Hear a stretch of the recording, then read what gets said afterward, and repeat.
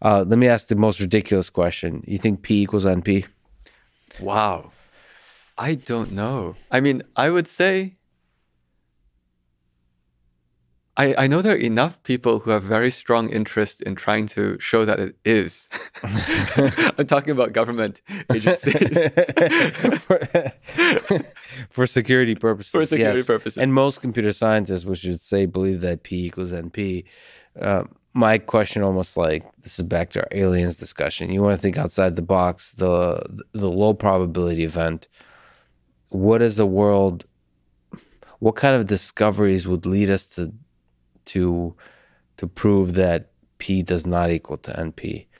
Like there could be giant misunderstandings or gaps in our knowledge about computer science, about theoretical computer science, about computation, which allow us to think like flatten all problems.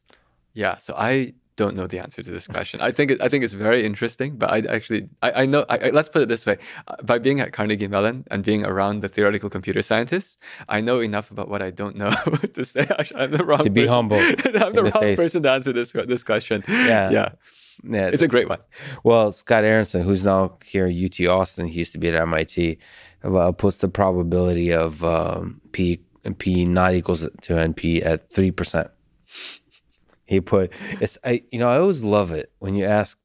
It's very rare in science in and academics because you're because most folks are humble in in the face of the mystery, the uncertainty of everything around us to have the, the both the humor and the guts to say um, like what are the chance that there's um, aliens in our galaxy intelligent alien civilizations as opposed to saying i don't know it could be you know it could be zero it could be depending on the factors saying it's 2.5% there's something very pleasant about just having uh, it's the, the it's the number thing um, there's power to the number. It's just like 42. It's like, why 40? I don't know, but it's a powerful number.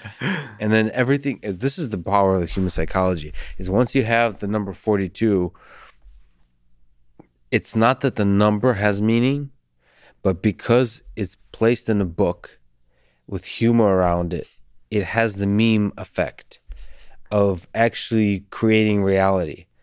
I mean, you could say that 42 has a strong contribution of helping us colonize Mars because it created, it gave the whatever existential crisis to many of us, including Elon Musk when he was young, you know, reading a book like that. And then like now 42 is now part of his humor that he doesn't shut up about. He's constantly joking about. And that humor is spreading through our minds. And somehow this like silly number just had an effect.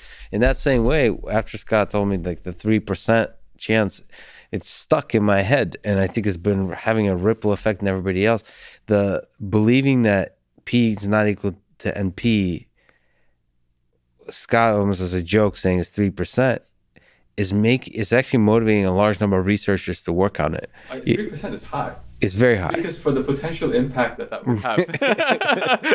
but then 3% is not that high because it's only you know it's a, like we're not very good. I feel like humans are only able to really think about like 1% 50% and we kind of we, i think a lot of people round 3% up to 50% like in our minds. Like 3% like that's it could happen. it could happen.